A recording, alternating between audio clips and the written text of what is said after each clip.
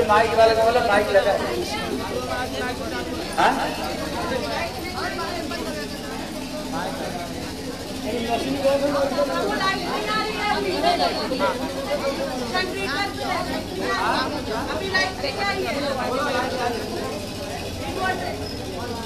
Generator चल रहा है निकल अब कल आप वहाँ से ले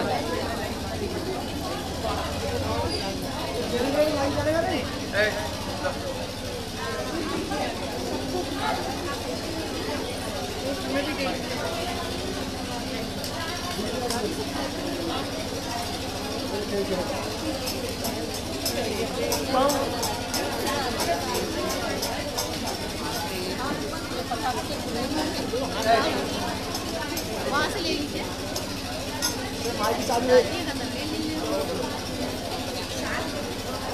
हरे कृष्णा बैठ जाइए आप लोग सब। बैठ जाओ।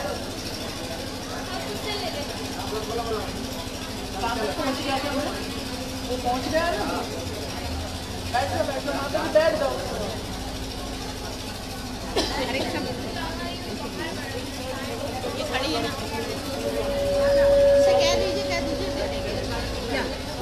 पैसे ले लीजिए हरे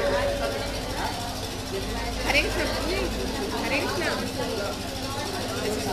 हरे कृष्णा बैठ गए सर अरे आप उठिए ना अपना ले लीजिए पैसे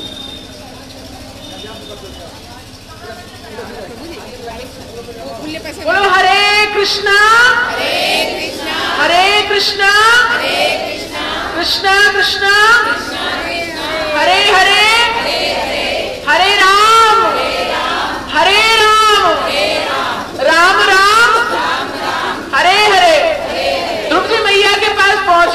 पहुँचने के बाद माता ने कहा कि कोई बात नहीं, इसमें शिक्षा प्रद अरे वो राजा की गोद में बैठने से कौन सा तुमको परम पद की प्राप्ति हो जाएगी? बैठना हो तो ठाकुर जी की गोद में बैठ। और पूछा, मैया, कैसे प्राप्त किया जाए ठाकुर जी को? उसने कहा, भगवान के भजन से, भगवान के तप से, तू तप करने के लिए जा। ध्रुव जी ने कहा, ठीक है। ध्रुव जी चले। बाद रास्ते में पहुँचे। पहुँचने के बाद मन में विचार आया, माता ने कह तो दिया कि तप करना, पर पद्धति नहीं बताई कि कैसे तप करूँ। तो महसूस हुई कमी गुरुदेव की, क्योंकि भगवान के चरणों तक कैसे पहुँचा जाए, ये केवल और केवल गुरुदेव बताएँगे। भजन की पद्धति क्या है, वो केवल और केवल गुरुदेव बताएँगे। अब मन में हुआ कि कोई गुरुदेव मिले तो भगवान तो सर्वसमर्थ है। यदि बहुत अच्छे कार्य के लिए जा रहे हैं तो पक्की बात है श्री भगवान सहायता करते ही करते हैं। हरे कृष्णा करते ही करते हैं। तो मिल गए नारद जी मग में पड़ा ध्रुव मुनि के चरणन में।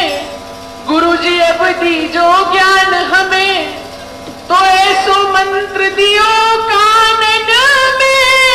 मिल गए श्री भगवान पायो। अचल लोक, ध्रुव लोक, भक्त ध्रुव धर के हरि को ध्यान। ध्रुव जी को कान में मंत्र दिया है।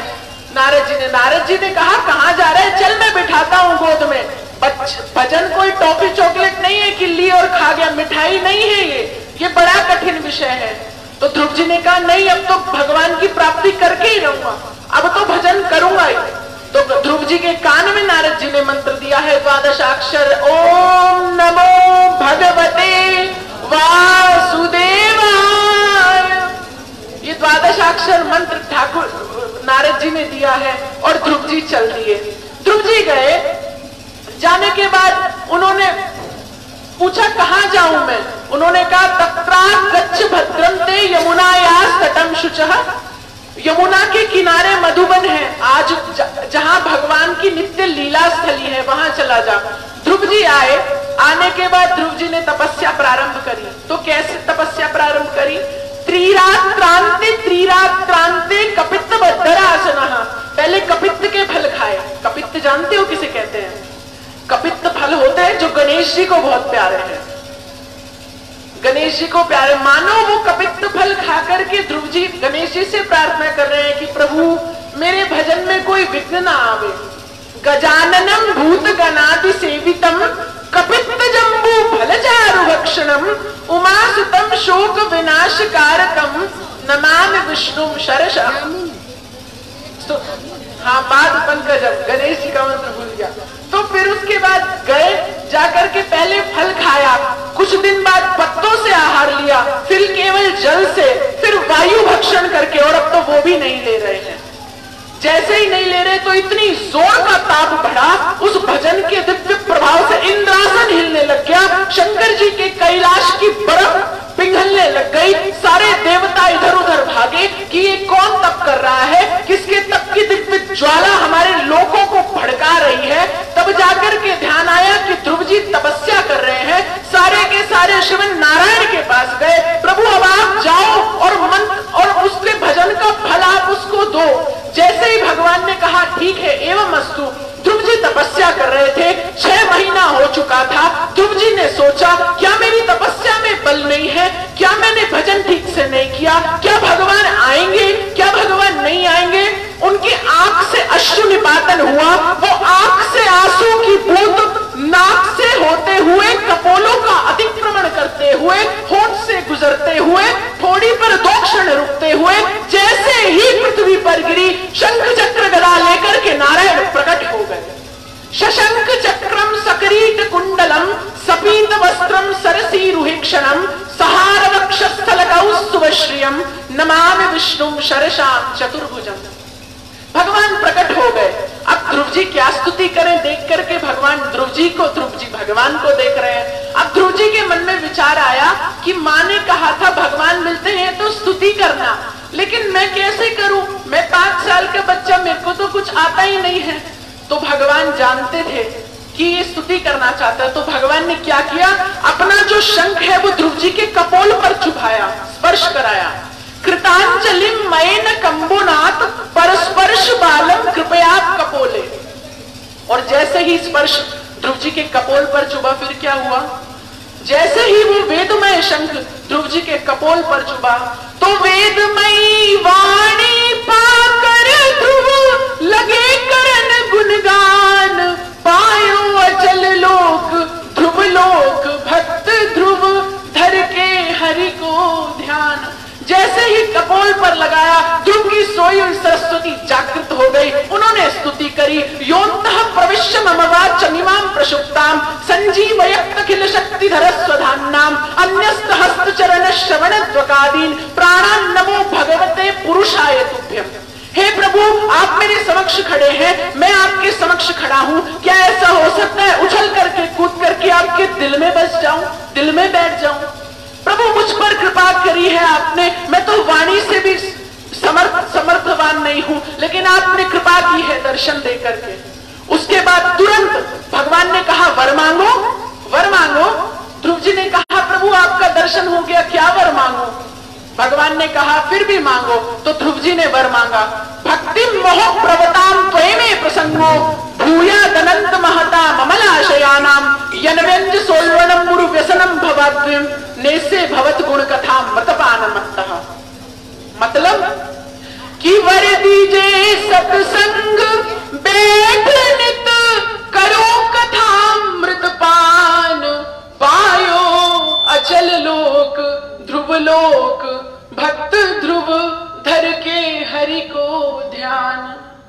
भगवान ने कपो, भगवान ने आशीर्वाद दिया है। ध्रुव जी ने भगवान की कथा श्रवण करने का वर मांगा है। उसके तुरंत बाद भगवान ने कहा, एवं अस्तु। भगवान उसको पर भगवान ध्रुव जी को वरदान लेके चले गए। अब ध्रुव जी की ये सारी कथा जो है, वो उत्तानपाद को नारद जी सुना रहे हैं। उत्तानपाद को नारद जी सुना रहे हैं। नारद जी कहते हैं कि देख, तेरा बेटा जंगल में भागा है। उत्तानपाद को मन में दुख हुआ है। माता सुनीति को भी, सुरुचि को भी दुख हुआ है। दोनों जंगल की तरफ़ आ रहे हैं। ध्रुव जी तपस्या करके बाहर महल की तरफ़ जा रहे हैं। दोनों एक दूसरे से मिलते हैं। ध्रुव जी ध्रुव जी के पिता उत्तान उत्तानपाद ध्रुव जी को गोदी में उठा करके और ध्रुव जी का चुंबन किया है। कपोल पर हरि अधरामृत लगा है, क्योंकि स्पर्श का स्पर्श का शंख का स्पर्श ध्रुव जी के गाल पे हुआ है। उसी गाल के स्पर्श पे तानपाद ने चुम्बन किया है और वो अमृतमय अमृतमय जो स्पर्श है, वो वो उत्तानपाद के मुख में चला गया। भगवान का अधरामृत उत्तानपाद के मुख में चला गया। उसके जन्म जन्मांतरों के कल्प कल्पांतरों के युग युगांतरों के दुष्प्रभाव, दुस्संग, दुष्प्रवृत्ति जल करके भस्म हो गई और उत्तानपाद के मन में वैराग्य का उद्भव हो गया। उसने कहा, ध्रुव, अब मैं परमार्थ संभालता हूँ, तू राज्य संभाल। ध्रुव जी ने राज्य किया है। अनेक वर्षों तक ध्रुव जी ने राज्य किया है। भगवान की महती कृपा से ध्रुव लोक का आशीर्वाद भगवान देकर के गए हैं। एक दिन ध्रुव जी अपने बाहर महल में घूम रहे थे।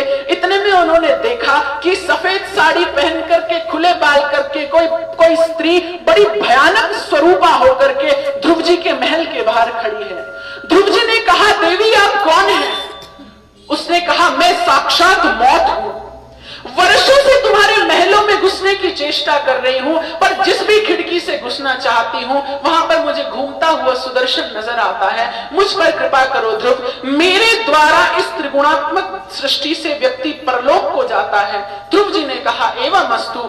ध्रुव जी ने मृत्यु के ऊपर पैर रखा संकल्प करके तो मृत्यु मूर्धनिम पदम दत्वा आरोहाद्भुतम गृहम वो मौत जो सबको हिला देती है, ध्रुव जी उस मौत के ऊपर पैर रख करके भगवान के धाम गए। मौत तो वही है देखो जैसे एक बिल्ली है, जब बिल्ली चूहे को पकड़ती है उसी मुख से तो उसकी भयाभय दशा हो जाती है, उसे मुख से फाड़ देती है, पर वही बिल्ली जब अपने बच्चे को पकड़ती है, तब उसको चुपचाप अपने मुख से पकड़ती है और बिल में रख देती है। ऐसे ही मृत्यु तो वही है, जब वो किसी व्यवचारी, दुराचारी के पास जाती है तो उसकी भयावह दशा हो जाती है। लेकिन जब वही मृत्यु एक भक्त के समीप आती है तो उसके स्पर्श से अपने आप को धन्यात धन्य कर लेती है। ये मृत्यु है।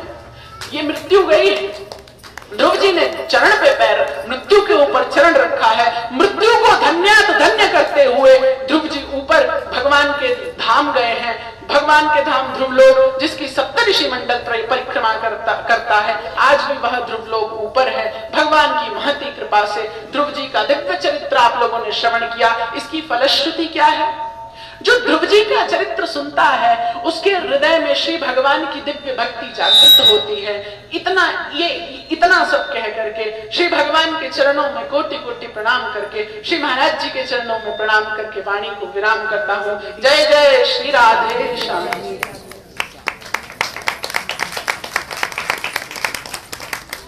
हरि बोल। महाराज की। निताई गौर प्रेमानंदे हरे हरि हरे कृष्ण। अभी भगवान बामन देव आएँगे हरे ठाकुर जी भी आएँगे। ठीक है? हरे कृष्ण। ठीक ठीक पीछे से आएँगे ठाकुर? जी पीछे से लाओ हाँ, ठीक ठीक आगे से भी आ सकते ठीक है बोले से वृंदावन बिहारी लाल हाँ गया हो गया बेटा देखो अभी हम लोग ने श्री ध्रुव जी की कथा सुनी है। कहती है ध्रुव जी की कथा में शिक्षा किया ये चीज़ को अच्छे तरह से सुनो। जिस समय श्री ध्रुव महाराज जी वैकुंठ विजय कर रहे थे, उसी समय में ये काल भी स्वयं आ गया। बोले, आप कौन हो? बोले, मैं काल हूँ। जब तक मेरे को कोई स्पर्श नहीं करता है, कोई संसार से उधार नहीं हो सकता है। तो देखो ध्रुव महाराज की कितने शक्ति है और भगवत भक्ति करने पर कितने शक्ति आती है। तो उन्होंने काल को बैठा करके उसको प्यार प्यार से, उनका सर पर प्यार रख दिए और सौ शरीर में ये बैकुंठ विजय कर रहे थे। जब कर रहे थे, इतने में ध्रुव महाराज जी को अपना मैया की याद आ गई। बोले, भैया, मेरे मैया कहाँ गई? बोले, भैया मैया को क्यों ढूंढ रहे हो? बोले, आज जो हमें भगवत प्राप्ति हुई, वो माँ के आशीर्वाद से। क्योंकि मैया ने मेरे को बोली, बोले, बेटा, ये पिताजी कब तक रहेंगे और तुम तो कब तक रहोगे? भगवान की भजन करो। जिसकी गोद में एक बार बैठोगे ना, कभी ज़िंदगी में उतरोगे नहीं। और ऐसे पद की प्राप्ति होगी तुम्हारी पूर्वजों कभी भी ये पद को प्राप्त नहीं किए। बोले, माँ, वो कौन है? बोले, ये पद्म पलाश लोचना श्री हरि किसकी कृपा से मेरे प्रभु मिले? बोले, माँ की आशीर्वाद से। इसलिए मैया को लिए बगैर मैं वैकुंठ नहीं जाऊँगा। देखो, विष्णुदूत ने क्या लिखा है? बोले, देख बेटा, जिसे माँ की कृपा से तेरे को भगवत प्राप्ति हुई, देख, वो जो रथ है ना, वो रथ में तेरी मैया बैठी है।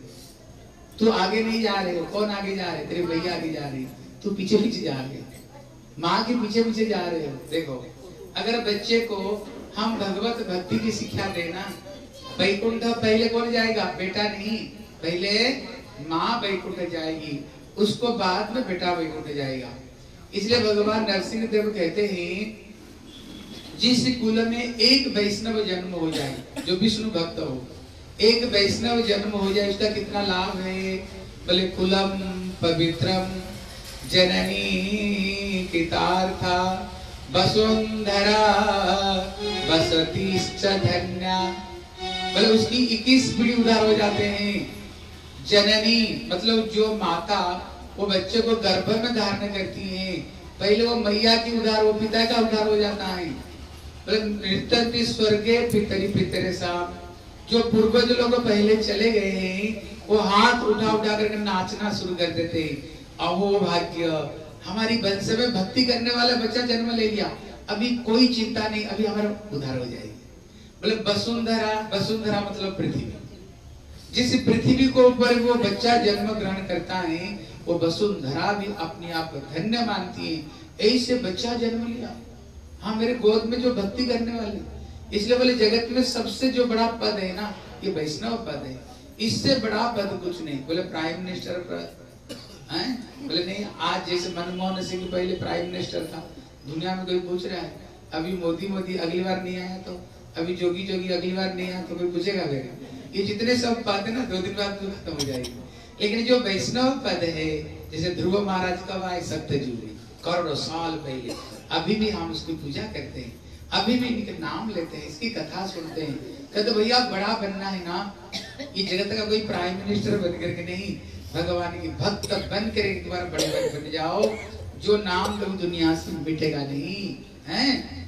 अगर बच्चा भजन किया, इतना लाभ अगर बच्चा अगर गलत रास्ता पर गया तो देखो, एक समय को एक जोगी स्वर्ग में पहुँचा। एक व्यक्ति बहुत पुण्य कर्म करके स्वर्ग में पहुँचा। सोने के सिंहासन में बैठा हुआ, उनको अप्सरियाँ सेवा कर रही थी, लेकिन वहाँ बैठे, बैठ करके रो रहा था। तब जोगी ने पूछा, भैया, क्यों रो रहे हो? तू आ गया स्वर्ग में, रत्न सिंहासन में तेरी पूजा हो रही है, रो रहे क्यों? बेहोश क्यों हो रहे हो? बोले, मेरे से एक गलती हो गई मैंने बच्चों को प्रभु की भक्ति की मार्ग नहीं दिखाया। इसलिए मैंने जो पैसा छोड़ करके आया था ना, बच्चे उसी पैसा से शराब पी रहे उसी पैसा से जुआ खेल रहे उसी पैसा से मांस मछली खा रहे चूँकि वो पैसा कौन छोड़ करके आया था? बोले, मैंने छोड़ करके आया था। उसका कर्म का फल हमें स्वर्ग में भी नहीं छोड़ रहा है।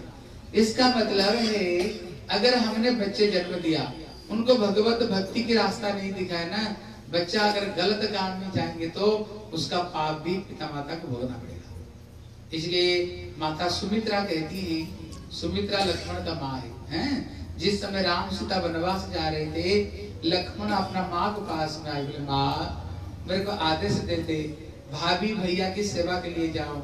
सुमित्रा इतनी खुश हो गई। देखो ये क्या कहती है। बोले पुत्रवती युवती जगत सोई रघुपति भगति जासुसुत होई लक्ष्मण तेरे जैसे बेटे को जन्म दे करके आज तो आनंद में मेरे छाती समा नहीं रहा। आनंद में है, मैं समा नहीं रही हूँ बोले क्यों? बोले उसी माँ को बच्चा जन्म देना सार्थक। अगर बेटा अगर भगवान की भक्ति किया तो। दूसरे लाइन में कहती है अगर बच्चों को भगवान की भक्ति में नहीं लगा पाए ठाकुर का भजन में नहीं लगाया देखो वो क्या कहती है? बोले बच्चा जन्म मत दो मना कर देती है। सुअर क्या बच्चा जन्म नहीं दे रहा? पंद्रह पंद्रह बीस बीस बच्चा जन्म दे रहा कुत्ते को देखो चार चार पाँच पाँच बच्चा जन्म दे दिया। अगर हमने चार पाँच बच्चा दे दिया तो कौन सा बड़ी बार तीर तुमने मार दिए इसलिए सुमित्रा कहती है, तभी बच्चे जन्म दो। अगर बच्चे को भगवान के भजन में लगा पाओगे तो वैष्णव बनाओगे तो। नहीं तो बच्चे जन्म देना मना कर देती, बच्चे जन्म मैं तो दो। क्यों? बच्चों को जन्म दोगे, लालन पालन करोगे, दुख कष्ट पाओगे, बच्चा गलत रास्ता में जाएगा तो फिर नर्क तो भोगता बच्चे के लिए फिर तुम नर्क भोग तो ऐसे बच्चे को कोई जन्म दोगे जो बच्चा भजन नहीं करेगा। इसलिए क्या करो? बच्चों को भगवान के भजन में लगाओ लेकिन कब करेगा? पहला गुरु कौन है? माता पिता पहला गुरु कौन है? सबसे पहले माँ गुरु है। सबसे ज़्यादा बच्चे का दिन कहाँ बीतता है? माँ की अगर माँ खुद अगर गले में कंठी बहनेगी अगर तिलक लगाएगी अगर हरि नाम करेगी तब तो बच्चे को संस्कार पड़ेगा। खुद दिन भर स्मार्टफ़ोन लेकर लगे हो दिन भर टीवी खोलकर बैठे हो दिन भर भजन भजन से कोई मतलब नहीं। बच्चा तुमसे कहा सीखेगा पहला गुरु तो माँ ना, पिता माता है ना। पहले खुद बनो पहले सब गला में कंठी पहनो, सबके सब तिलक लगाओ। सदगुरु चरणाश्रय ग्रहण करो, भगवान के हरि नाम करो, फिर वो बच्चा जाकर कहीं भक्ति करेगा। इसलिए पहले कट्टी तिलक, माला अच्छे तरह से लगाओ, मंदिर में आओ, भजन करो, और ये संस्कार बच्चों को भी ये संस्कार बड़े श्री वृंदावन बिहारी, लाल की हाँ। देखो, इसको बाद में ना, जो कथा आती है अजामिली कथा आती है ये अजामिली का नाम सुने होंगे, बहुत बड़ा पापी था। लेकिन पहले तो ब्राह्मण घर में जन्म लिया। ब्राह्मणी थी, लेकिन असत संग से अपना पत्नी त्याग दी बेस्या को साथ में रहा अमेद को मृत खाया। लेकिन सबसे जो छोटा बेटा का नाम उसने नारायण रख लिया। अब सबसे छोटा बेटा सबसे प्यारा होता है। अभी बात बात में बोले, बेटा नारायण मेरे गोद में आ जा बेटा। नारायण, मेरे लिए पानी ले आ। नारायण, मेरे गोद में आ जा। अभी दिन भर नारायण नारायण नारायण करता है। अभी जो कर्म करते काय, मन और वाक्य में। मृत्यु का समय में तीन जमदूत लेने के लिए आए। इतने में उसको देख कर उसने दूर से अपना बेटा को देखा डर से बुलाया। बेटा नारायण! ये चार अक्षर है। ना, रा, या ना इतने में चार विष्णुदूत आए बोले, कोई डर की बात नहीं, हम है रक्षा करने वाले। एक तरफ़ में जमदूत, एक तरफ़ में विष्णुदूत। बोलो, दोनों में घमासान लड़ाई। जमदूत कहते, हम ले जाएँगे। विष्णुदूत कहते, हम ले जाएँगे। विष्णुदूत कहते, तुम लोग है कौन? बोले, धर्म राजा के दूत है। बोले, धर्म का नाम पर अधर्म? बोले, क्या अधर्म है? आपको पता नहीं? ये व्यक्ति कौन? जानते हो कौन है? ये पहले ब्राह्मण घर में जन्म लिया। ब्राह्मणी कम उम्र की। उसने ब्राह्मणी त्याग दी। एक बेस्या सुद्राणी को साथ में रहा। उसको हाथ में अवैध कुमेद खाया दस बच्चे हुए। उनको लालन पालन करने के लिए चोरी, गुंडा के डाकू सब डाले। सीधा करके जाएगा बोले, भैया, पाप भी किया, पुण्य भी तो कुछ किया। बोले, पुण्य क्या किया? बोले, अभी जो नारायण ने नाम लिया। बोले, वाह ज़िंदगी भर पाप करो और मरने से बगल राम, नारायण बोल हो गया? हो गया इससे ही। तब विष्णु तो कहते, मूर्खो, तुम्हें क्या पता भगवत नाम में किया सकती है? हैं? उदाहरण दिया जैसे रुई का एक ढेर हो। आग की एक चिंगारी पड़ जाए ना, जला करके सब राख बना देती है। भगवान का नाम हरि से बड़ा, हरि का नाम है।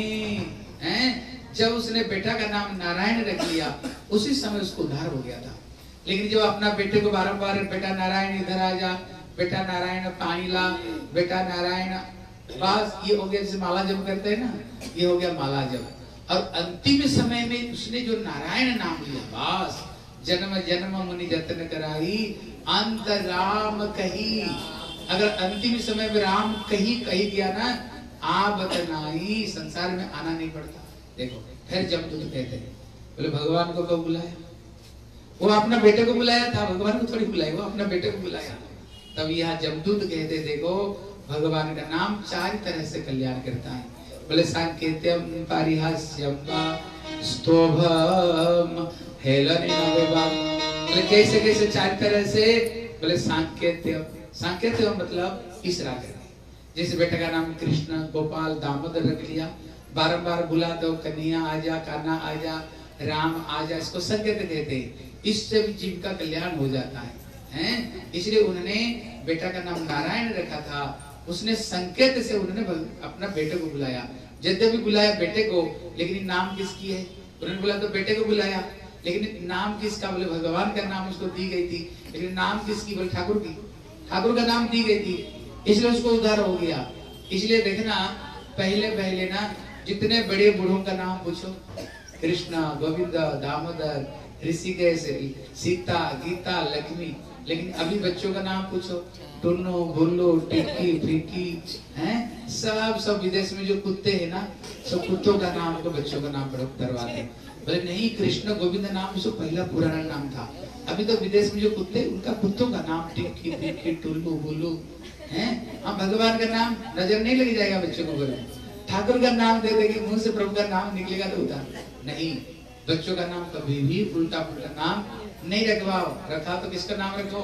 ठाकुर जी का नाम रखो, किसी भक्तों का नाम रखो। कम से कम बच्चे की बहाना से जितना बार ठाकुर का नाम लोगे जीवा में ठाकुर का नाम आएगा। जिस घर में ठाकुर का नाम हो, मंगल भवन अमंगल हरि। जितना बार लोगे ठाकुर का नाम, जितना बार बच्चा सुनेगा भगवान का नाम, कल्याणी कल्याणी, मंगल ही मंगल है। इसलिए उल्टा उल्टा नाम नहीं रखनी चाहिए। रखनी चाहिए सबको। ठाकुर जी की नाम पर रखनी चाहिए। इसलिए ये अजामिल जिस समय उसकी मृत्यु होने का था, लेकिन जब वो लेने आए थे ना जमदूत, इतने में तो लड़ाई हो रही थी, वो ऐसे देख रहा था। बोले, अरे जो कौन है? अरे, मैं तो मरने वाला था कौन मेरे को बचा दिया? फिर उन्होंने नीचे कथा सुने ना। बेटे को नाम नारायण लेकर इतना कल्याण मरा नहीं भगवान कृपा की। बोले इतना शक्ति ब्रह्म का नाम में फिर उसने मरा नहीं हरिद्वार में गया। फिर वहाँ भजन किया। जब भजन खत्म हो गई प्रेम हुई फिर वैकुंठ से फिर वही चार विष्णु आए। और उनको बैठा करके कहा ले गए? वैकुंठ ले गए उनको। देखो बच्चे का नाम पर अगर ठाकुर का नाम धरा है तो कितना नाम? बच्चों का क्या नाम धराना? कुत, कुत्तों का नाम धराना? नहीं। किसका नाम धराना? ठाकुर जी भगवान की नाम धरा भगवान बामन देवाने वाले। बोले, श्री बामन भगवान की यदि देवता दैत्य में जब लड़ाई होती है ना देवता मर मर जाए। दैत्यों का गुरु शुक्राचार्य। ये संजीवनी मंत्र से चिंता कर देते हैं। एक समय देवता लोग ने जा करके ठाकुर जिसको बोले, हम अमर कैसे बनेंगे? बोले, समुद्र मंथन करो, अमृत निकलेगा, पी करके अमर बनेगा। दो मिनट खड़े अमृत निकलेगा तो पान करके अमर बनोगे। फिर उन्होंने समुद्र मंथन की, जिसमें हरा, हलाल बीस निकला, शंकर जी टन के टन जहर पान करके हमारा कंठे में रख दिए। इसलिए शंकर जी का एक नाम हो गया नीलकंठ। बोले, नीलकंठ महादेव की फिर मंथन हुई तो माँ लक्ष्मी स्वयं निकली। बताओ, लक्ष्मी किसको नहीं चाहिए? सारा दुनिया को लक्ष्मी चाहिए। लक्ष्मी बोली, ऐसे नहीं, लाइन पर खड़े हो जाओ। मैं अपना मन मर्ज़ी बत्ती चुनूँगी, सबको पास में गई। लेकिन सब में कुछ ना कुछ उसने दोष देखी। लेकिन प्रभु नारायण को पास में जब गए सर्प गुना संपर्क ठाकुर जी। फिर उन्होंने इनकी गला में माला डाल दी। बोले श्री लक्ष्मी नारायण की फिर मंथन हुई अमृत निकला धन्वंतरी ने लेकर आई फिर देवता दैत्य में लड़ाई हुई। लड़ाई हुई तो दैत्य लोग को छीन लिए। ठाकुर जी ने देखा अगर दैत्य पी लेंगे अमर बन जाएँगे। ठाकुर जी मोहिनी अवतार लेकर के आए और दैत्यों को वंचित करके उन्होंने देवता को सारे अमृत देवता को उन्होंने पिला दी। पिला दी तो घमासान लड़ाई हुई। देवता लोग अमृत पी चुके थे मारना काटना शुरू किया। जैसे केले के पेड़ को काटते हैं। इतने में ब्रह्मा जी आकर के रोके। फिर शुक्राचार्य चेले को ज़िंदा कर दी। फिर उन्होंने यज्ञ की। एक रथ निकली, जिस रथ के ऊपर बैठ करके युद्ध कर दो, कोई कुछ बिगाड़ नहीं सकता है। फिर स्वर्ग राज्य के ऊपर आक्रमण की। देवता को मार मार कर भगा दिए। जाकर इंद्र राज्य को अधिकार कर दिया अभी देवता लोग मरते जगत में मारे मारे भटक रहे हैं। इनकी माता अदित्य कश्यप जी को बोले, मेरे बच्चे को स्वर्ग कैसे मिलेगी? बल्कि बोले, बारह दिन का पय व्रत है। इसको कर, भगवान वामन रूप में आएँगे, फिर स्वर्ग राज्य प्रदान करेंगे। फिर भगवान बामन देव आकर उन्होंने एक पद में भूर भूव मोहजन तप सत्य लोक को ले लेते हैं। दूसरे पग में अतल बीतल बितल तलातल पाताल लोगों को ले लिए। बोले, बताओ अभी बड़ा डी क्या करा था? इतना दान दूँगा कहीं तुम्हें झोली बसारने का ज़रूरत नहीं। बताओ तीसरे पग कहाँ रखोगे? इतने में नाग फास बंधन में बाँध दिए बाँध दिए तो इतने में उनकी पत्नी विंध्यावली बड़ी बुद्धिमती थी। बोले, देखो, ठाकुर का आपने क्या दिया? विश्व ब्रह्मांड ठाकुर जी की। ठाकुर तो अपना राज्य को ले लिए। अपने उनको क्या दिया? जब तो खुद वो खुद नहीं देते हो। बोलो ना, अपना सर पर रखो। इतने में बलि महाराज खुश हो गए। बोले बताओ प्रभु दान बढ़ाना दानी बढ़ा बोले दानी बढ़ा बोले आप दानी लिए हो दानी तो स्वयं बाकी है। बताओ किस कहाँ रखोगे? बोले मेरे सर पर। फिर उन्होंने अभय चरण को उन्होंने बलि महाराज का सर पर रखे। सारा दुनिया देख देख हैरान हो रही थी। आकाश से पुष्प की बौछार की। बोले श्री बलि महाराज की। श्री बामन भगवान की। फिर उन्होंने बोले, क्या वर मांगते हो? फिर उनको उन्होंने सुतल लोक में स्थान दे दिए। भगवान को बोले, प्रभु, मैं चाहता हूँ, जब जब किसी दरवाज़ा से निकलो, आपका दर्शन करते हुए निकलो, ठाकुर जी उनकी प्रेम में इतने वसीभूत हो गए, दरबार ठाकुर जी बन गए। भगवान क्या बन गए? ठाकुर जी दरबार बन गए। एक दिन नारद जी वैकुंठ में पहुँचे। देखा, वैकुंठ में नारायण नहीं, बोले, लक्ष्मी को पूछे, प्रभु कहाँ है? बोले, पता नहीं, प्रभु कहीं गए, अभी तक आए नहीं।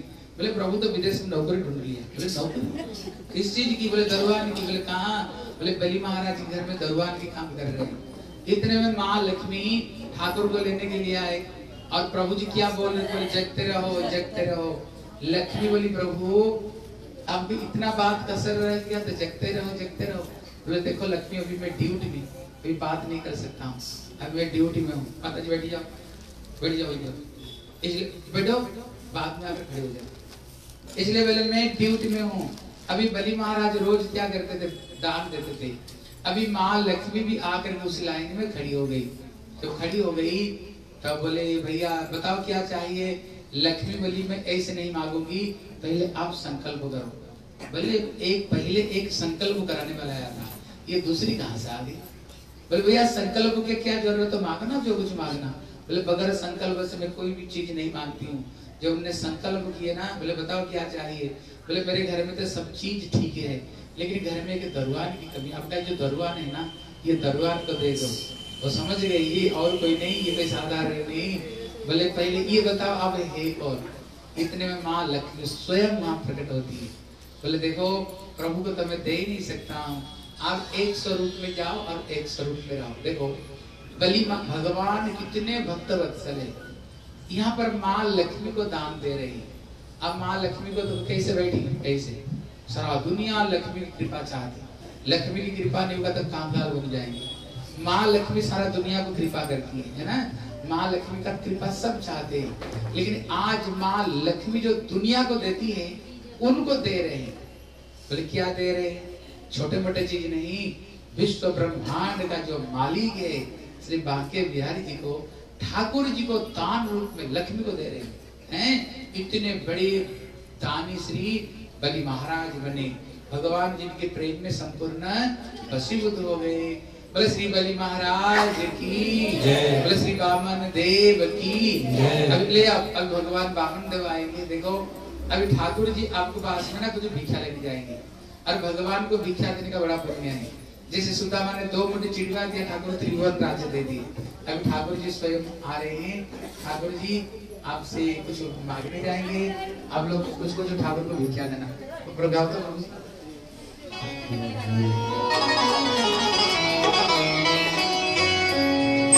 तेरे द्वार खड़ा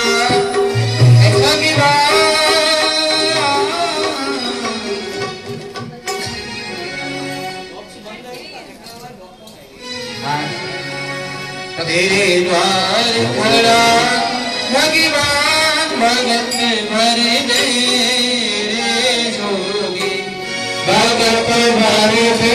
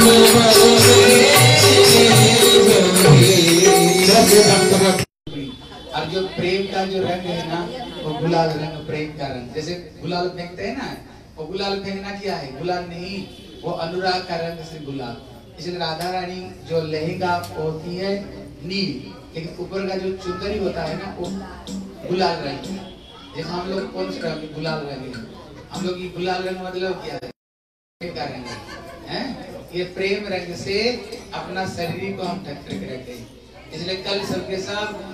गुलाल रंग की साड़ी पहनी है ना। और कल से राधा रानी जन्म लेगी। बस राधा रानी की बस कृष्ण कन्हैया, लाल की हाँ देखो, अभी तो कृष्ण जन्म लेंगे। हम थोड़ी सी एकादशी की एक कथा सुन लेते हैं। आज तो गीता जयंती है। आज गीता जयंती। आज गीता की प्रादुर्भाव दिन है। और आज श्री एकादशी व्रत है। बताओ कौन कौन आज एकादशी रखे हो? कौन कौन एकादशी रखे? हाँ और कौन कौन नहीं रखे हो?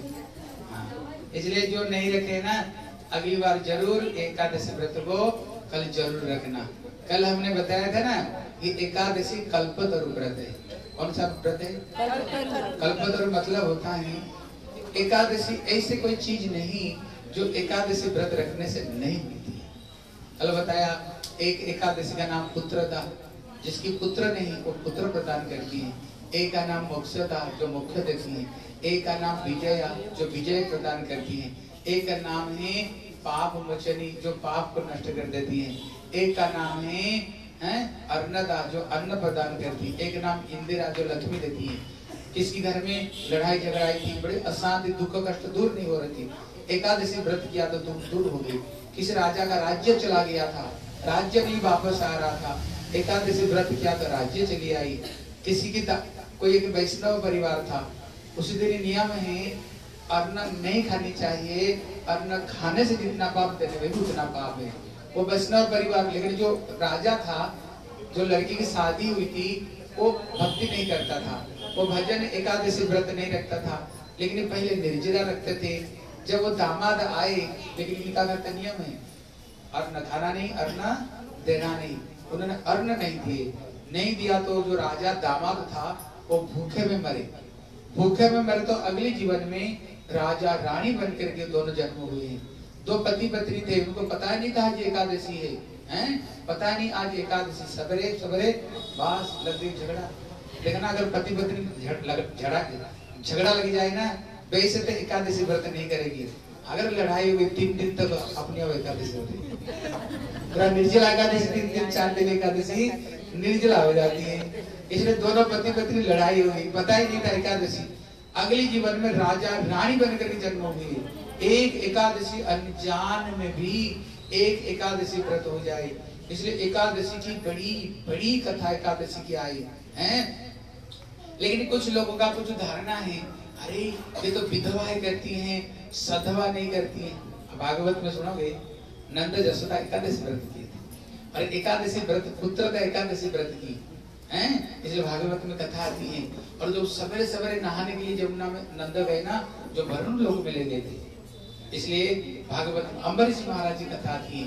दोनों पति पत्नी मथुरा में बड़ी निष्ठा पूर्वक उन्होंने एकादशी व्रत की, जिसमें से दुर्वासा ऋषि आए तो एकादशी की इतने महिमा, सुदर्शन चक्र जिनको रक्षा करता था। और उन्होंने मारने के लिए कोशिश की, राक्षस प्रकट की, सुदर्शन चक्र स्वयं प्रकट होकर के राक्षस को मार करके ब्रह्म, फिर उसको खदड़ा, फिर दुर्वासा ब्रह्मा जी के पास में गए। ब्रह्मा भी नहीं रक्षा की गए शंकर जी के पास में, शंकर तक भी रक्षा नहीं गए, फिर वैकुंठ तक भगाते भगाते ले गए। भगवान विष्णु भी नहीं रक्षा कर पाए लास्ट में उनको अम्बरीश के चरण में माफ़ी मांगना मतलब जो एकादशी व्रत रखते हैं, ठाकुर जी का सुदर्शन चक्र उसको हर समय चक्र उनकी रखवाली करते हैं। इतने महिमा। हाँ ये एकादशी क्यों? कहा? कैसे हुई? इसकी कथा सुन लो। बोले, एक समय भगवान कृष्ण नारद जा रहे थे। चलते चलते हठात उनको आवाज़ सुनाई पड़ी, बचाओ बचाओ, और नहीं, हमसे गलती हो गई। बड़ी ज़ोर से रो रहा आवाज़ आ रही कृष्ण ने कहा, नारद जी, हम कहाँ पर आ गए? बोले, ठाकुर जी, आप तो सब जानते हो। अभी आप जमपुरी में श्री दक्षिण दरवाज़ा पर आए जहाँ पर पापियों को सजा दी जाती है। बोले, चलो, हम देखते हैं वहाँ पर क्या हो रही है। वहाँ जा करके देखा, जो जैसे जैसे कर्म करता है, जो मांस मछली खाए थे, उनको तो ज़िंदा ज़िंदा करते हुए काट रहे थे। जैसे उनको मांस को जैसे कढ़ाई में पकाते हैं ना, जैसे पकाते थे, जैसे पकौड़ा कभी बनाए हो, देखना ऐसे पकौड़ा जैसे उसको छाक रहे थे। और जो शराब पिया था, लोहे गला करके उसको मुँह में डाल रहे थे, जो गति गति पिक्चर देखते थे, उसका आँख निकाल रहे थे, जो तराज में हेर फेर कर रहा था, उसका हाथ काट रहे थे।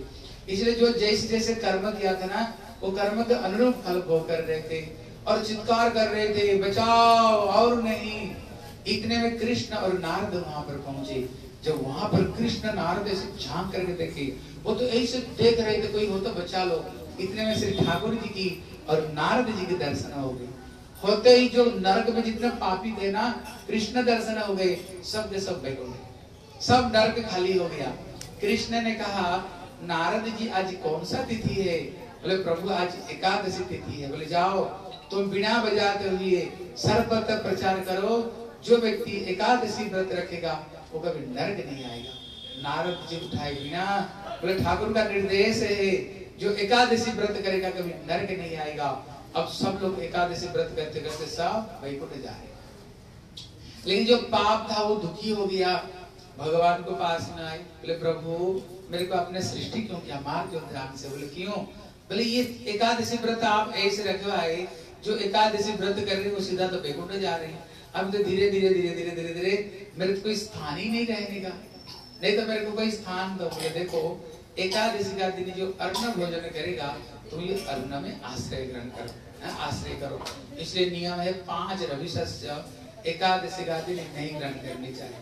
पहले अन्न दूसरा है गेहूँ इसमें जितना आटा गेहूँ जो कुछ उसमें बनता है सूजी भुज जितने। और जव है सरिसा है और जितने तरह का दाल है।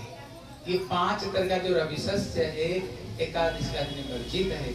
इसमें गो हत्या नर हत्या ब्रह्म हत्या वरुण हत्या ये जितने सब पाप एकादशी का दिन अन्न में आश्रय करता है। कहते एक एकादशी का नाम पाप मोचनी। देखो, इसकी थोड़ी सी कथा सुनो। पाप मोचनी मतलब होता है, जीवन में हमने जो पाप किया है, जिसको करने से सारे पाप नष्ट हो जाते हैं। एक समय स्वर्ग में कथा सुने इसकी। एक समय एकादशी कितने महत्व देखो। एक समय स्वर्ग में सारे इंद्र, चंद्र, सारे देवता बैठे हुए थे। तो गंधर्व गंधर्व जो वहाँ की जो नृत्य विद्या दिखाते हैं, वो दोनों सामने नृत्य विद्या दिखा रहे थे लेकिन जो गंधर्विणी थी, वो बहुत ही सुंदर, बहुत ही प्यारी थी। उस समय जो नृत्य विद्या हो रही था, जो गंधर्व था, वो बारंबार उसको तरफ़ में इतने मुग्ध होकर देख रहा था, पागल जैसे उसको तरफ़ में देखते देखते जा रहा था। लेकिन उसको सामने तो नृत्य विद्या हो रही थी, सारे देवताओं के सामने, लेकिन वो इतना आसक्त था वो विद्या भूल करके ना उसको तरफ़ में पागल जैसे देख रहा था। इंद्र ने कहा, दुष्ट, यहाँ पर देवता को सामने तुम नृत्य विद्या दिखा रहे हो। और तुम पागल होकर उसको तरफ़ में आप फाड़ फाड़ में देख रहे हो। तेरे पता नहीं यहाँ पर तुम विद्या दिखा रहे हो। मैं तुमको अभिशाप देता हूँ। तुम मर्त्य जगत में पिशाच और पिशाचिनी बन करके तुम जाओ। अब ये दोनों पिशाच, पिशाचिनी बन करके आए। और रात को जब तक इसकी खून नहीं पिएगा ना, ज़िंदा नहीं रह सकते। छटपट छटपट करना शुरू होते किसको ऊपर सवार होकर तब ये खून पी करके ज़िंदा रहते थे। जब ऐसे कुछ दिन चला गया, बड़ी दुख में जीवन बिता रहे थे। एक दिन दोनों आपस में चर्चा किए, क्या ज़िंदगी भर हम ऐसे ही दुख में बिताएँगे? क्या हमारी कभी उधार नहीं होगी कभी? कभी मुक्ति नहीं मिलेगी पिशाची जीवन में? उनने सारे शास्त्र को ढूंढे, कहाँ पर कुछ उपाय नहीं? एक समय उन्होंने सुना कि जो एक एकादशी जो पाप मोचन एकादशी अगर ये एकादशी व्रत को कोई करे ना जीवन में जितने सारे पाप है वो सारे पाप नष्ट हो जाते हैं। लेकिन पहले तो जो एकादशी निर्जला व्रत रखते थे खाते नहीं थे बोले रात में तो जब तक हम उसका खून नहीं पिएँगे तो ज़िंदा नहीं रह सकते अभी क्या किया जाए? बोले जितने कष्ट क्यों नहीं हो कोशिश करते हैं ये एकादशी पाप मोचनी एकादशी व्रत करे। बड़ी कष्ट पूर्वक सहन करते हुए उन्होंने एक पाप मोचनी एकादशी व्रत की। एकादशी व्रत की तो दूसरे दिन में सारे पाप से मुक्ति मिल गई। और सीधा उन्होंने स्वर्ग में फिर गंधर्व गंधर्वी बन के पहुँचे। जब पहुँचे, इंद्र देख कर बुला इधर बोले मैंने अभिशाप दी थी तुम दोनों को। ऐसे कौन सा तुमने सत्कर्म की जो कि पाप से मुक्त होकर के फिर गंधर्व और गंधर्व बने? बताओ, ऐसे कौन सा पुण्य की बोले हमने ये भगवान कृष्ण का व्रत एकादशी व्रत है। हमने ये पाप वचन एकादशी व्रत रखा इसी से ही हमारे सारे पाप नष्ट हो गई बोले इतने महिमा एकादशी में। एकादशी व्रत का अधिष्ठात्री देवता कौन है? जैसे सोम है। सोमवार कोई व्रत रखते होंगे। किसके व्रत है? भोले वाले मंगल किसकी है? हनुमान जी की। बुध किसकी है? गणेश जी की। कहते बृहस्पतिवार भगवान विष्णु की श्री लक्ष्मी शनि शनिचर। ये जो अलग अलग व्रत है ना ये अलग अलग देवता के लिए। लेकिन एकादशी व्रत किसके लिए? इसलिए बोले माधवती थी भक्ति जननी जतने पालन करी कृष्ण बसती बसती बोली परम आदर बोली जो एकादशी व्रत है ना इसका अधिष्ठात्री देवता स्वयं कृष्ण। कृष्ण है। जगत में तैतीस करोड़ देवता, कितने को खुश करोगे? लेकिन भगवान, भगवत गीता में भगवान अर्जुन को विराट रूप दिखाया, अर्जुन, जिसको तुम कहते हो शंकर, देखो शंकर मेरे में। जिसको तुम माता कहते हो, देखो माता मेरे में। जिसको तू हनुमान कहते हो, देखो हनुमान मेरे में। जिसको तू गणेश कहते हो, देखो गणेश मेरे में। जो इंद्र, चंद्र, वायु, वर्ण, देखो अर्जुन मत भरत किंचित अर्जुन मुझको छोड़ करके दुनिया में कुछ भी नहीं विश्व ब्रह्मांड मेरे अंदर में। जब हम भगवान कृष्ण को प्रणाम कर लिया, इनकी व्रत कर दिया ना, जितने तैतीस करोड़ देवता की प्रताप हो गया क्यों? उनके अंदर में सारे देवता उनके अंदर में। जैसे पेड़ का जड़ में पानी दे दो ना, पूरा पेड़ हरा भरा रहता है। उसी तरह जब हम कृष्ण भक्ति, कृष्ण को व्रत करते हैं, सभी का व्रत हो जाती है। हैं? इसलिए एकादशी व्रत किसकी व्रत है? श्री भाग्य कृष्ण की व्रत है। लेकिन और एक भ्रम धारणा क्या, बोले इसको तो उद्यापना फिर करना पड़ता है। नहीं, हमारे वैष्णव जगत में कोई उद्यापन का कोई नाम नहीं। जब तक तुम्हारी समर्थ है, तब तक व्रत रखो। जब तुम्हारी समर्थ नहीं मत रखा करो। लेकिन शास्त्र में बताया, अष्टाधिक पूर्ण आसिधि सिद्धि वत्सर मतलब आठ साल से लेकर के अस्सी साल तक एकादशी व्रत रखनी चाहिए। उसको पहले बार उसको बाद में अगर नहीं कर पाओगे ना कोई दोष नहीं। अन्न खाओगे तो कोई दोष नहीं। लेकिन आपको आठ साल से लेकर अस्सी साल तक एकादशी व्रत ज़रूर करनी चाहिए। ठीक है? देखो और एक चीज़ समझो। हाँ, अच्छे तरह इस चीज़ को समझो। कोई कोई ना कहता से व्रत व्रत करने से क्या होता है? बेकार चीज़ें। नहीं। ये जो व्रत, हमारे जो संत लोगों ने जो व्रत रखा है ना, ये सब के सब साइंस ही है। क्या है? ये सब सब विज्ञान साइंस ही है। हैं? ये साइंस ये चीज़ को अच्छे तरह से, जो थोड़ा लिखे बड़े लोग इस चीज़ को समझो। बोले, भैया, ये एकादशी साइंस कैसे है? ये ऋषि मुनियों ने क्यों एकादशी व्रत रखे? बोले, इन लोगों ने जो व्रत को रखे दो दृष्टिकोण से। एक तो शरीर भी सुस्त रहे और ये भगवान की भक्ति भी हो जाए। दोनों तो काम होनी चाहिए। क्योंकि शरीर सुस्त नहीं रहेगा तो भजन कैसे करोगे फिर शरीर सुस्त रहेगा तब तो भक्ति करोगे ना? इसलिए देखो, ये एकादशी में क्या साइंस ये है? कहते पंद्रह दिन में एक बार ये एकादशी व्रत आती है। ये जो ऋषि मुनियों ने जो जो व्रत रखे, शरीर कैसे सुस्त रहे? बल्कि ये शरीर जैसे कि मशीन। कोई भी मशीनी को देखना, आप कंटिन्यू कोई मशीनी को चलाओ, ज़्यादा दिन नहीं चलेगा। खराब हो जाएगी। हैं? जैसे ये मशीनी चलता है। अगर बीच में रेस्ट दे करके चलाओगे ना ये मशीनी ज़्यादा दिन चलेगी? अगर कंटिन्यू हर्ष में चलते रहेगा। उसी तरह शरीर में एक मशीन अगर 24 घंटा बकरी जैसे मुँह चलाओ हाँ बकरी जैसे दिन भर खाते रहो अरे शरीर भी ज़्यादा दिन नहीं रहेगी। इसलिए देखना, बच्चे जैसे स्कूल पढ़ने जाते हैं। पढ़ने जाते हैं कि नहीं? उनको शनिवार, इतवार, दो दिन छुट्टी रहती कि नहीं? छुट्टी रहती है ना? क्यों? सात दिन पढ़े ना, बच्चा बढ़िया पढ़ेगा बोले नहीं पागल हो जाएगा। जैसे बच्चे स्कूल पढ़ने जाते हैं देखना, आठ पीरियड में तो सात पीरियड है। बीच में एक हल छुट है। इसलिए ये ब्रेन एक मशीन है। अगर थोड़ी सी आध एक घंटा बच्चे खेल दिया ना, ये ब्रेन फ्री हो जाती है। फिर वो क्या करता है, पढ़ाई करता है। उसी तरह ऋषि मुनियों ने देखा, ये शरीर भी एक मशीन है। भैया पंद्रह दिन में तो एक बार रेस्ट दो। पंद्रह दिन में शरीर को थोड़ी सी रेस्ट दो। हाँ अभी यहाँ प्रश्न होता है, क्यों? हम पंद्रह दिन में क्यों रेस्ट देंगे? और भी किसी दिन तो रेस्ट दे सकते हैं, लेकिन पंद्रह दिन में क्यों रेस्ट देंगे ये चीज़ को समझो। ये समुद्र में एक जुहार भटा होता है। आपको पता नहीं समुद्र में हाई टाइड होता है, जुहार भटा होती है। बोले, क्यों? बोले, जो चंद्रमा ये पृथ्वी को खींचती है, ये पृथ्वी चंद्रमा को खींचती है। दोनों दोनों को खींचती है। इसलिए ये चंद्रमा पृथ्वी को जो खींचती है, पृथ्वी तो बहुत बड़ी को खींच नहीं सकती है। इसलिए इसका जो प्रभाव है, पानी के ऊपर पड़ता है। ये एकादश से लेकर के ये पूर्णिमा तक चंद्रमा पर ज़्यादा बढ़ती है। बढ़ने पर ये समुद्र के ऊपर में जो लोग समुद्र किनारे में रहते हैं, उनको पता है बड़ी बड़ी उफन उफन उफनती है। बड़ी बड़ी ढेव लहरी आती है। हाँ पूर्णिमा दिन तो इतनी बड़ी बड़ी ढेव लहरी आती है। इसलिए फिर उसको बाद में धीरे धीरे घट जाती है। चंद्रमा घटने पर घट जाती है। उसी तरह यदि चंद्रमा इस शरीर के ऊपर में भी प्रभाव पड़ता है। हमारा जो शरीर है पाँच चीज़ को तरह बनी हुई है। कितना चीज़ को तरह? क्या क्या?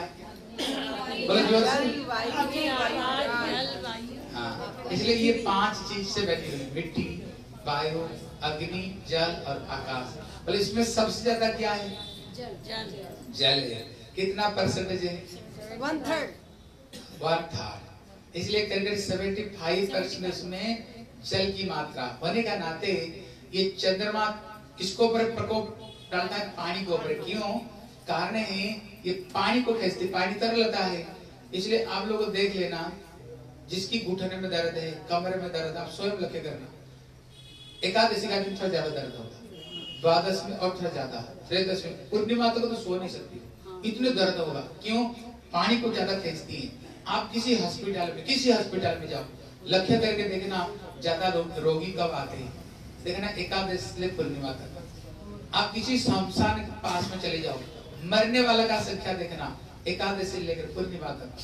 कहते माताओं का अंदर में चिड़चिड़ा पड़ा देखना, ये एकादश से लेकर पूर्णिमा तक ज़्यादा होती है। ये चिड़चिड़ा पड़ा क्यों? कहते ये चंद्रमा की प्रभाव पड़ता है पानी के ऊपर भी। इसलिए हमारे ऋषि मुनियों ने बताया, देखो, उसी दिन फल मूल खाओ।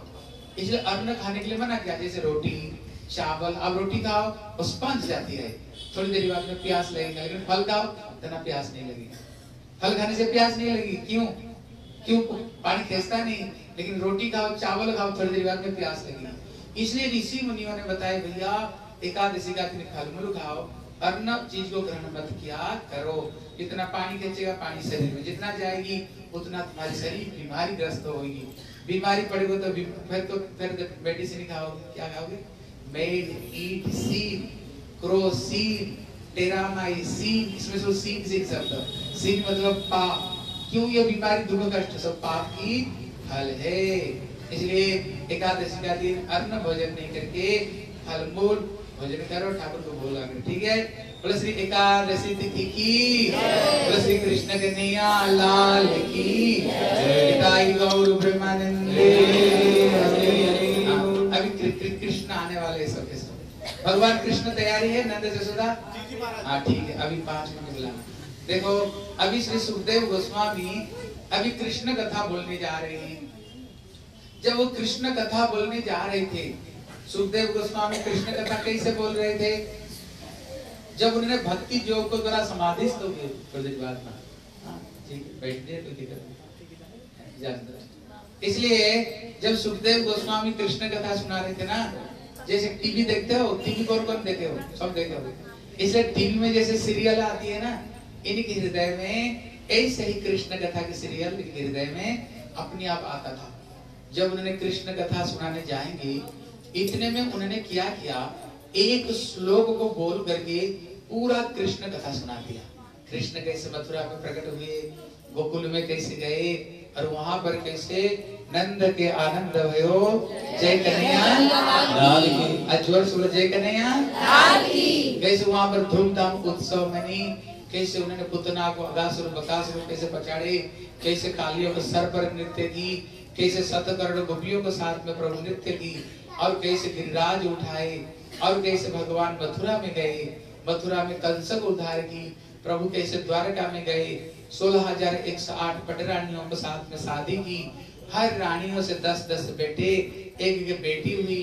फिर उन्होंने ब्राह्मण का अभिशाप को ग्रहण करते हुए प्रभास क्षेत्र ठाकुर अपना अंतिम लीला को प्रकाश करते हुए अपना वृंदावन धाम को ठाकुर जी चले गए।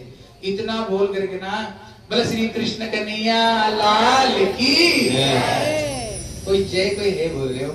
आज एकादशी से मुँह से आवाज़ नहीं निकल रही ना। आज एकादशी का दिन, अगर एक माला करोगे ना, सौ माला करने का फल मिलेगा। लास्ट में एक माला करके सब जाएँगे। ज़ोर से बोलो।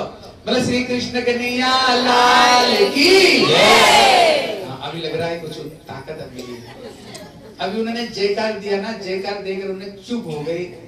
जब चुप हो गए परीक्षित महाराज बोले क्या हो गया कृष्ण कथा बोले सुना दिया ना? पूरी तो सुना ही दिया।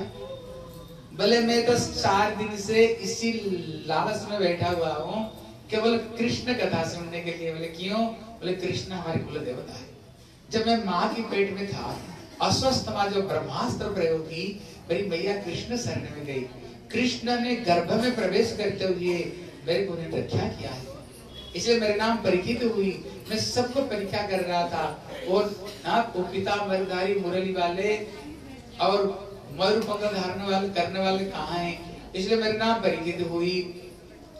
मैं तो केवल उनकी कथा सुनने के लिए यहाँ पर बैठा हुआ हूँ। आप तो जैसे अगस्त ऋषि एक चूल भर में संपूर्ण समुद्र को पार कर ली। आप तो पूरा कृष्ण कथा एक श्लोक में ही समाप्त तो कर दिए। मेरे को आनंद नहीं मिला। मेरे को तो कृष्ण कथा जी भर करके सुनाओ। मैं तो तीन दिन तक केवल कृष्ण कृष्ण कथा सुनना चाहता हूँ। फिर श्री परीक्षित महाराज सुखदेव गोस्वामी प्रसन्न हो गए। प्रसन्न होकर के बोले, मैं तेरे को परीक्षा कर रहा था सचमुच से क्या तुम कृष्ण कथा सुनना चाहते हो? ना वैसे बैठे हुए हो। मैं तुमको परीक्षा करना चाहता था। और दूसरा कारण बताए, बोले, देखो, चार दिन हो गया। अभी तक भी तुमने थोड़ा पानी तक नहीं पी, थोड़ा पानी पी ले। तेरे को प्यास लगता होगा। बोले, प्रभु, पानी के लिए तो जितना झटझट हुई है।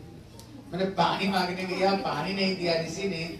तभी तो मैंने गले में मरा हुआ सर्फ को डाल दिया। फिर पानी की बात कर तो पानी की बात मत करो। लेकिन आपका जो मुख चंद्र है ना जैसे कि चकोर चिड़िया होता है, वो जैसे चंद्रमा का किरण को पान करता है, आपके मुख चंद्र को दर्शन करते हुए, आपकी कृष्ण कथा मृत रूपी अमृत से मैं अपना जीवन को तृप्त कर रहा हूँ। प्रभु, कथा को बंद मत कराओ। कथा बंद करोगे ना, फिर मेरे को प्यास लग जाएगी। हाँ देखो, अभी प्रश्न है, फिर उन्होंने एक श्लोक में कृष्ण कथा क्यों बोल दिए एक उदाहरण दिया है, जैसे एक व्यक्ति एकदम तपते हुए धूप से आ रहे, जेठ की महीना। चिलचिला धूप है। और प्यास के मारे, छाती फट रहा है प्यास के मारे। एक व्यक्ति एक गिलास बड़े सुंदर जूस दे दे, हैं? अनार का जूस हो, नहीं तो एप्पल का जूस एक गिलास दे। तेरे को क्या करेगा बताओ? पूरा के एक साथ में ना, हैं? बिना थमते हुए पूरा पूरा पानी को एक साथ में पी लेगा, जूस को एक साथ में पी लेगा। उसी तरह कहते ये सुखदेव गोस्वामी कौन है? बोले, प्रिया, सुखश्री वृषभानुजाया पवित्र चच्चो प्रिय चुंबनीना इसलिए सुखदेव गोस्वामी कौन है? श्री राधा रानी की ये प्रिय सुख है। वो भी सोच रहे थे, कब समय आए और ये कृष्ण कथा को मैं पान करूँ, कृष्ण कथा को मैं पान करूँ? इसलिए जिस समय उन्होंने कृष्ण कथा आई, उन्होंने किया, क्या अगस्त जैसे पूरा के पूरा एक श्लोक में पूरी कृष्ण कथा सुना दी। हैं? पूरी कृष्ण कथा सुना दी। लेकिन परीक्षित महाराज संतुष्ट नहीं हुए। बोले, मेरे को विस्तृत रूप में कथा सुनाओ। फिर उन्होंने कृष्ण कथा सुनाई। बोले, कथितो वंश विस्तारो, भवता सोम सूर्ययो राज्ञां च भयवंसानां चरितं परमाद्भुतम्। बोले भागवत में दो वंशावली की कथा आई एक चंद्र वंश और एक सूर्य वंश है।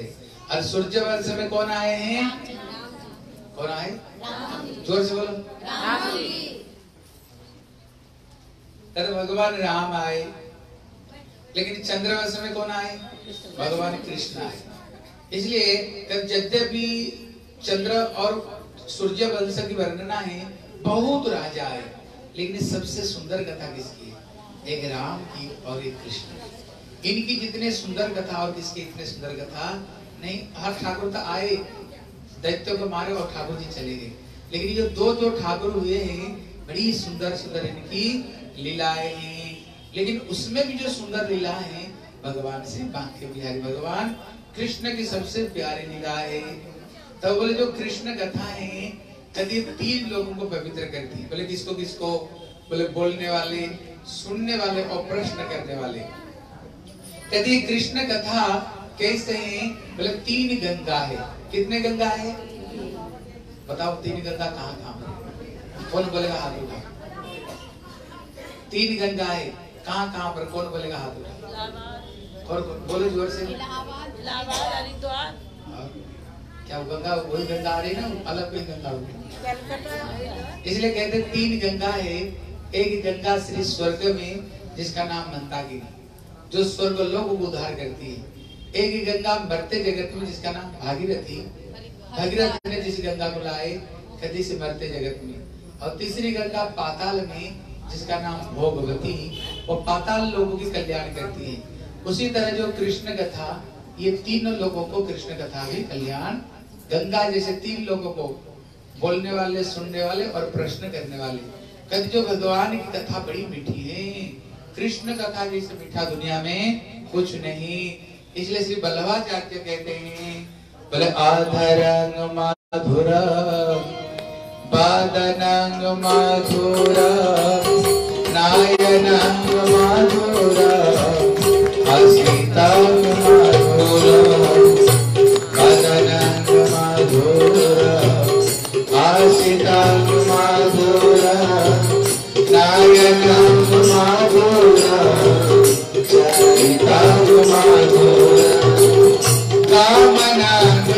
माधुर हृदयांग माधुर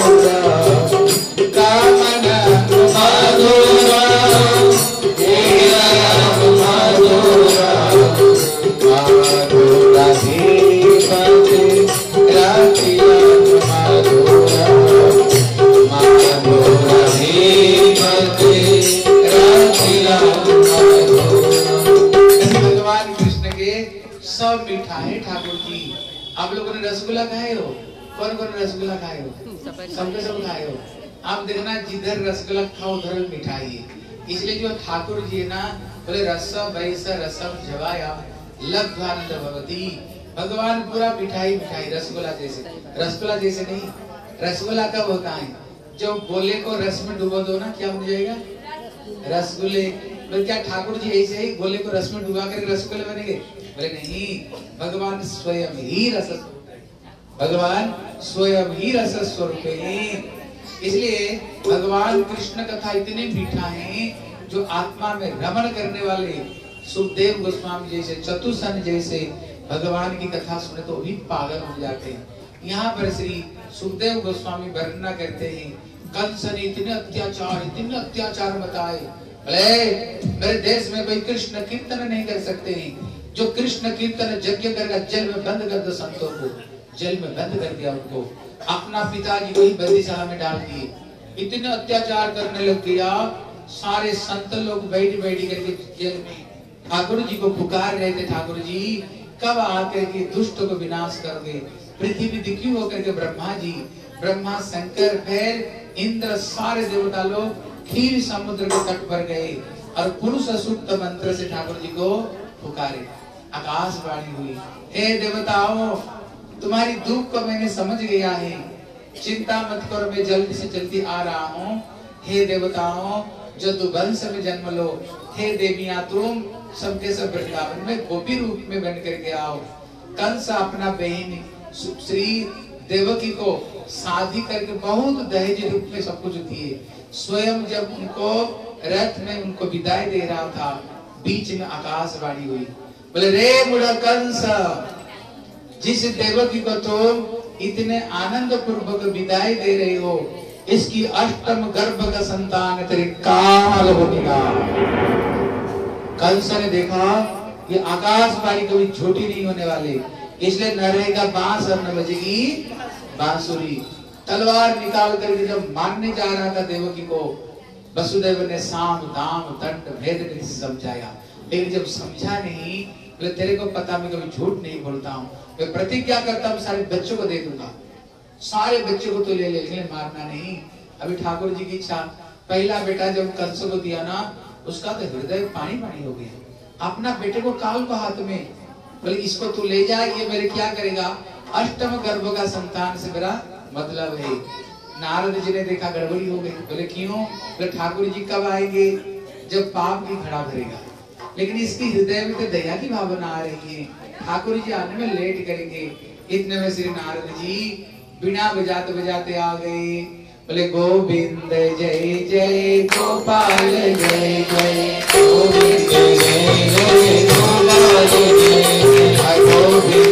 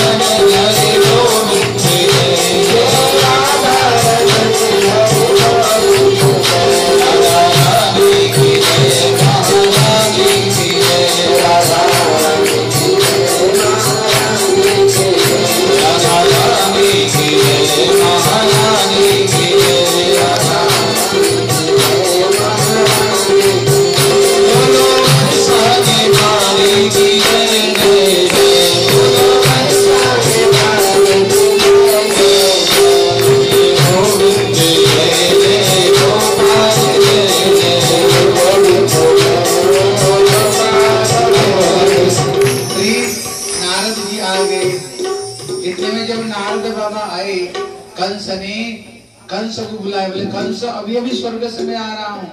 देखा पितामह ब्रह्मा जी, सारे देवता को लेकर मीटिंग कर रहे थे, जानते हो? विषय क्या था बोले, तेरे को मानना? देख, ये जदुवंशी और कोई नहीं, ये सब देवता। ये जितने सब स्त्रियाँ, सब के सब देवियाँ, सब तेरे को मारने के लिए षड्यंत्र करके आए। तब उन्होंने एक फूल लाए थे जो आठ पंखुड़िया हो। बोले, बताओ, इसमें पहला नंबर कौन आठवां कौन बोले, एक, दो, तीन, चार, पाँच, छह, सात, आठ। बोले, उल्टा से गिनो बोले, एक, दो, तीन, चार, पाँच, छह, सात, आठ। बोले, क्या समझाना चाह रहे हो? बोले, इतना समझ में नहीं आ रही। तू तो इधर से गिन रहे हो। अगर देवता लोग उल्टा से गिने तो फिर क्या होगा? जिसको एक कर रहे हो हो जाएगा आठ। जब आठ भाई धीरे धीरे बड़े होंगे मिल करके तेरे को मारेंगे। बोले गुरु जी मैं सबको मार दूँ। बोले भैया, मैं क्यों बोलूँ? तू जानता, तेरा बाप जानता। है भड़का दिया। और भड़का करके उन्होंने नारद जी भाग गए वहाँ से। और उन्होंने छह छह बच्चों को मार डाले। देखो, प्रश्न है माताएँ बात मत करो। इसलिए प्रश्न है पर नारद जी ये बच्चों को मरवाया क्यों? मरवाया नहीं। इनकी पूर्व जन्मों की बात इनको पता। ये ब्रह्मा की मानस पुत्र मरीचि थे। एक दिन ब्रह्मा जी एक सुंदर लड़की जन्म दी। इतनी सुंदर थी, ब्रह्मा भी स्वयं मुक्त हो गए इन लोगों ने उनको हँसी उड़ाए थे। बोले, महत पुरुष का हँसी नहीं उड़ानी चाहिए। उन्होंने अभिशाप दिया। अपना पिताजी को हाथ में तीन जन्म मरने हाथ पर उतारोगी अभी यही काल में रूप में कंस आया था। पहले मर चुके हैं और इसी जीवन में उनको उद्धार करा दिया। जल्दी जल्दी मरवाया ने उनकी मुक्ति करा दी। और छह बच्चे मतलब क्या? बोले अगर भगवान को हृदय में बैठना चाहते हो भगवान अष्टम गर्भ में आए। कौन सा गर्भ में आए? क्यों? देखो इस चीज़ को समझो। पहले ये छह बच्चे कौन है? बोले सड़क गर्भा। अगर भगवान को बैठना चाहते हो पहले छह बच्चों को मारो। कौन? काम क्रोध लोभ मोह मद और मात्सर्य। पहले इसको खत्म करो। उसको बाद में कौन आएगा? बलदेव प्रभु। बलदेव प्रभु कौन? ये धाम स्वरूप है। भगवान को जो धारण करने वाले। संधिनी शक्ति के अधिष्ठात्री देवता, स्वयं सेवा की मूर्तिमान विग्रह, भगवान को जो धारण करते हैं। फिर अष्टम गर्भ में कौन आए? भगवान से कृष्ण कन्हैया। हाँ ये एक। दूसरी अर्थ को अच्छी तरह समझो। भगवान, ये अष्टम गर्भ में क्यों आए? आज मैं सुनाऊँगा, कल आपसे सुनाऊँगा। जो बोले देगा ना, मैं कल इसको इनाम दूँगा। अभी ध्यान से सुनो। हमारे श्री रूप गोस्वामी कहते भक्ति की आठ स्टेजेस हैं जैसे class one two three four five उसी तरह भक्ति का सबसे पहला स्टेज श्रद्धा। जैसे आप लोगों के अंदर में श्रद्धा, भक्ति है, तभी आखिरी कथा में बैठे। अगर श्रद्धा नहीं होता तो आप थोड़ी यहाँ बैठे, घर में बैठ कर टीवी देखते दूसरा सोपान साधु संग। साधु संग मतलब कथा में बैठ तभी संतों की संग कर रहे हो, कथा सुन रहे हो, कथा से फिर ज्ञान मिलेगी। तीसरे भजन क्रिया। जब हमें पता चलेगा हम भगवान का ही संतान है, उनकी भक्ति करना ही हमारा कर्तव्य है। तीसरा स्टेज भजन क्रिया। जब भजन क्रिया करेंगे, जो चौथा स्टेज बोले, अनर्थ निवृत्ति। जब हम भगवान की भक्ति करेंगे, हमारे हृदय में जो काम, क्रोध, लोभ, मोह, ये सब नष्ट होगा। बोले, पंचमा स्टेज, बोले, रुचि। रुचि मतलब क्या है? जैसे घर में कोई बढ़िया खाना बनता है। अगर बढ़िया हो ना, बोले, और थोड़ा दो। हाँ। बोले, और थोड़ा दो। इसलिए इसको कहते हैं रुचि। पर जो छठवा जो स्टेज है, कहते निष्ठा। निष्ठा मतलब होता है, जब भक्ति इतने परिपक्व हो जाती है, भले ही जीवन में जितने बाधा विपत्ति क्यों नहीं आए, लेकिन भगवान की भक्ति कभी नहीं छोड़ते। इसको कहते निष्ठा। जैसे मीरा को ऊपर में कितने बाधा आई लेकिन उसने प्रभु की भजन छोड़ा। प्रभु की भक्ति कभी उसने नहीं छोड़ी। शिक्षा देते हैं, भैया, दुनिया छूट जाए। एक दिन तो दुनिया सबसे छूटेगा ही। लेकिन प्रभु की भक्ति कभी नहीं छूटनी चाहिए। कहते, सप्तम गर्भ में श्री बलदेव प्रभु, ये धाम स्वरूप भाव भाव मतलब होता है, जब ये स्थिति आ जाए ना कभी कभी ठाकुर की मीठी मीठी बंसुरी की आवाज़ सुनने को मिलने लगी। कभी कभी ठाकुर जी की चरण की नुपुर की झंकार सुनने को मिलेगी। कभी कभी ऐसे लगेगा जैसे ठाकुर जी आए, हमें स्पर्श किया और खड़े हो जाएगी। कभी कभी ऐसे लगेगा, ठाकुर जी, हमें अधरा मृत पिला करके चले गए। अपना होठ को चाटने लग जाओगे। ऐसे ही भावावस्था में और लास्ट में प्रेम अवस्था है प्रेमावस्था में साक्षात ठाकुर जी दर्शन। इसलिए ठाकुर जी ये अष्टम स्टेज में श्री ठाकुर जी आए। अब इसे ठाकुर जी आने वाले ठाकुर जी इतने में सारे देवता लोग प्रकट होकर के देवकी वसुदेव के गर्भ स्तुति कर रहे थे सारे देवता लोग। अभी श्री भगवान कृष्ण आएँगे ठाकुर जी के गर्भ में। साधारण अगर मोदी यहाँ पर आए ना, देखना इसके लिए कितने स्वागत होगी। आज कौन आ रहे हैं? विश्व ब्रह्मांड के पालन हार आ रहे हैं। तो उसके लिए कितने स्वागत नहीं होनी चाहिए? इसलिए सुखदेव गोस्वामी कहते हैं, अतः सर्व काल वेद काल परम सपन। एक साथ में छह ऋतु प्रकट हो गई। सारे फूल, बेली, चमेली, जुई, सारे फूल खिल गई। यमुना नदी की सीमा, आनंद की सीमा ने कलकल नाद से बह रही है। श्री कृष्ण के नैया लाल की। और जितने नदियाँ थी, इतने प्रसन्न हो रही थी। बोले, क्यों? बोले बोले, यमुना ये बड़ी बहनी है। छोटी नदियाँ उनकी छोटी बहनी है। अगर अभी यमुना के साथ में कृष्ण की शादी होगी, सखी बनेगी ना, बोले, छोटी बहनी क्या? बोले, साली। छोटी बहनी क्या लगता है साली? आप देखना कभी कभी दामाद अपना पत्नी से सालियों को भी ज़्यादा प्रेम करते हैं। इसलिए नदियाँ सोच रही हम साली बनेगी कृष्ण, प्रेम प्रेम करेंगे।